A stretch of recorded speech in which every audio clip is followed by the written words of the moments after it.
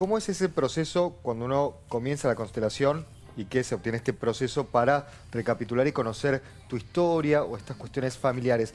¿Cómo se llega a esa información o a conocer quizás eh, traumas o eh, pactos o cuestiones vinculadas a tus bisabuelos, tus ancestros, que uno está replicando en el presente, como decía Dani, forma inconsciente? Claro. Em, y en primer lugar, uno tiene que traer un síntoma, ¿no? Como algo bien concreto que le esté sucediendo, que se repita, que, es algo problemático.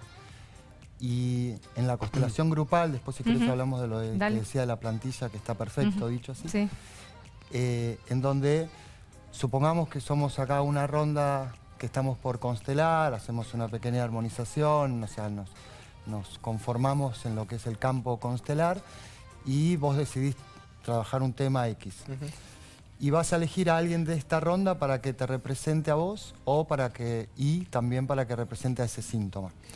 Eh, generalmente es así, a veces el constelador puede decir, los elige él, depende de lo que, lo que esté observando, y esas personas se van a poner en el centro de este círculo, no tienen que actuar, no tienen que hacer nada, por lo general quienes participaron son testigos, sienten algo muy claro, eh, puede ser me late rápido el corazón, eh, se me durmió un brazo, necesito estar sentado en el piso, etc. Y el constelador va interpretando y sintiendo lo que está sucediendo y haciendo, proponiendo movimientos.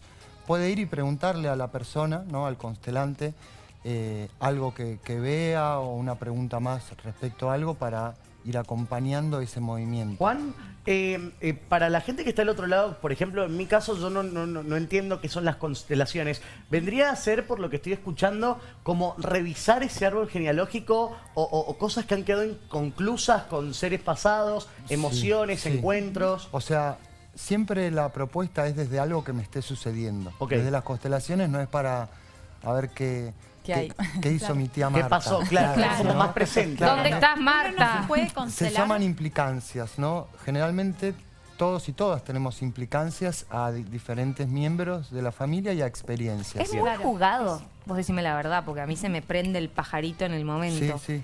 Si constelamos ahora en grupo, y si no se puede. Y yo creo que por no solo por mí, por cómo, sino que hay dedicar un tiempo para claro, tiene que ser tiene que ser como muy armado el momento, ¿no es cierto? Sí, porque también pueden estar ahí ustedes en una situación quizá de exposición o vivir algo que necesita un cuidado de la, de la energía.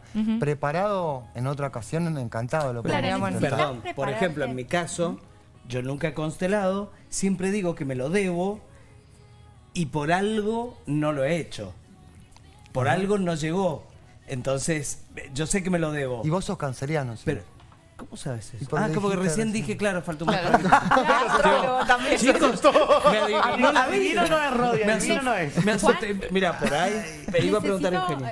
Eh, cuando te constelas, previo a eso, ¿necesitas hacerte como alguna limpieza de energía o tener algo en mente? Es lo que se recomienda es venir con una mirada abierta. Claro. Eh, por lo general, eh, cuando hacemos el encuentro hay una energía que siempre se nota y, es muy cuidada.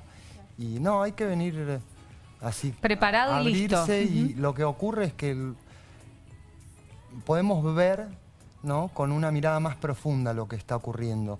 Y esa mirada no acepta algo. A veces no se entiende, a veces sí, pero se acepta.